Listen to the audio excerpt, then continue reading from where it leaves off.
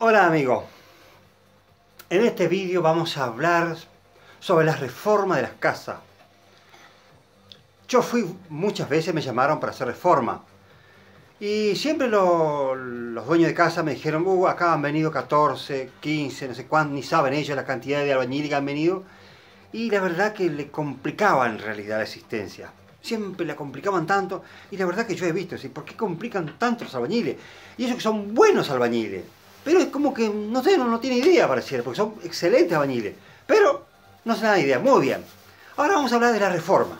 Porque yo hice muchísima reforma. Muy bien. Vamos a hablar de un plano, un plano que hay mucho en América. El clásico, diríamos. Este.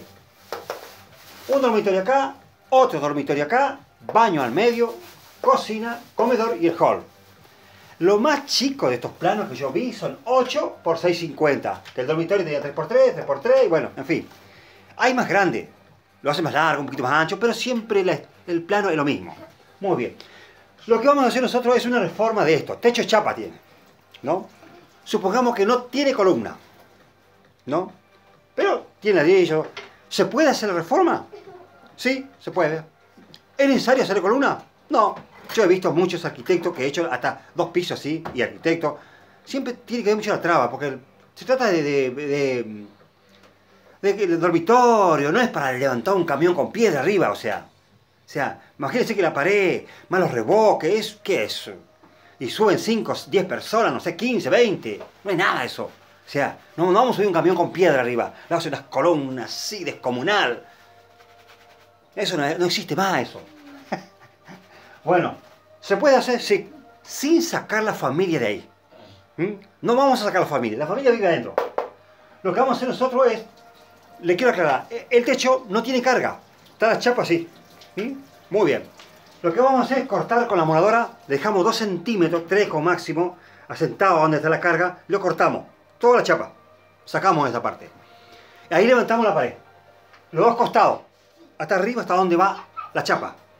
Cuando llegamos arriba le ponemos los, perfiles galvanizados, yo uso perfiles galvanizados, prefiero mucho más, los aislantes y sacamos la chapa de abajo y lo colocamos arriba. Nos va a faltar una chapa nomás, porque más o menos eso. Bueno, lo ponemos el techo. Y de ahí compramos, en un día pone el techo, usted saca y lo pone, lo coloca.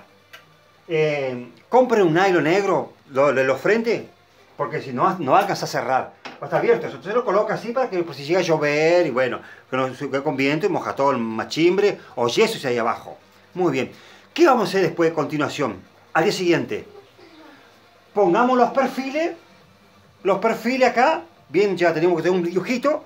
Donde va la escalera, todos los, perfiles de por acá. Y poner, vamos a hacer perfiles con este fenólico. Y arriba lo vamos a pintar o le pegamos este papel con este diario con cosas eh, con cola y le pegaremos cerámico o porcelanato esa es la idea del final. Pero lo que necesitamos nosotros es el piso o sea el fenólico con los tirantes para pisar para trabajar ¿sí? muy bien.